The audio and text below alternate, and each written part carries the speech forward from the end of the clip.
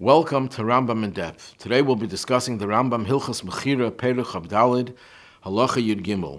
The Rambam rules as follows: Someone tells his fellow, "I'm selling you land and date palms." And what happens? Even if there were no date palms on the land. If he wants and he purchases for him two date palms, not on the land, but from other places, then the sale is a valid sale.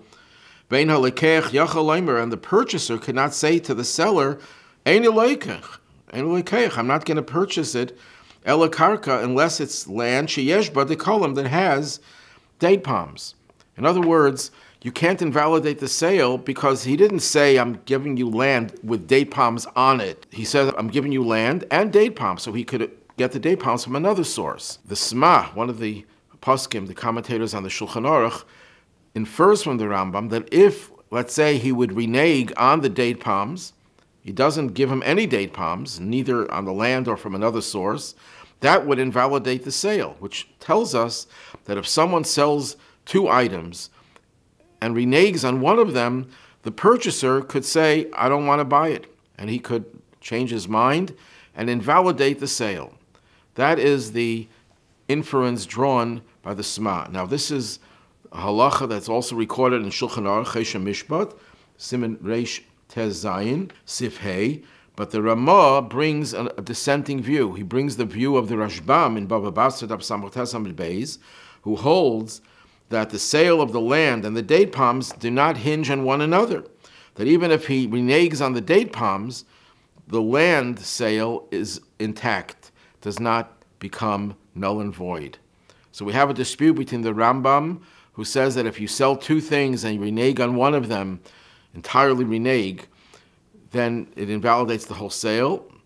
And the Rashbam maintains that it doesn't. Each component of the sale stands on its own two feet. The Taz there in Choshen Mishpat brings an actual case of someone who sold two places in a shul to his fellow. He owned two seats in the shul, and he sold him, and he said, I'm selling you both of these seats. And in the end, it turned out that there was only one seat for sale, only one seat that was available. He only owned one seat. So he says that this question, whether it invalidates the whole sale or not, hinges on the dispute between the Rambam and the Rashbam. According to the Rambam, the whole sale is null and void because he reneged on one part of the sale, one component of it.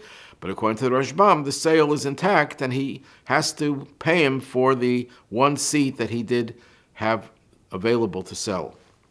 But there are other poskim who say that no, we can make a distinction between the case of the Rambam of the land and the two date palms, and the case of the Taz for the two places in the shul. And actually, there are two opposite approaches. And one sefer Mishpat Shalom, he says that maybe what the Rambam rules that it invalidates if he doesn't maintain his wholesale.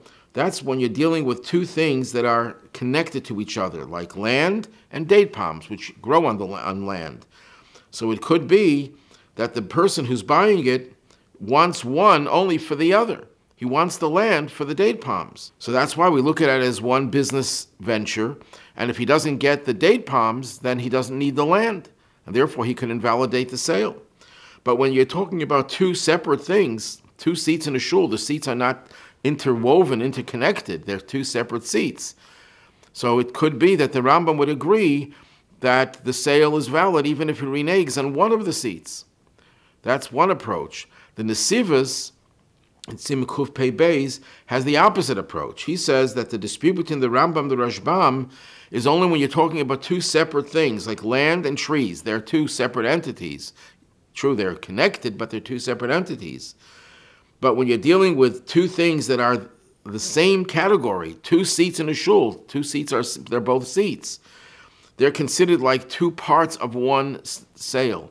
And if one part of the sale is invalidated, is, is reneged upon, is canceled, then it cancels the whole thing because it's an organic sale because two things are, are identical.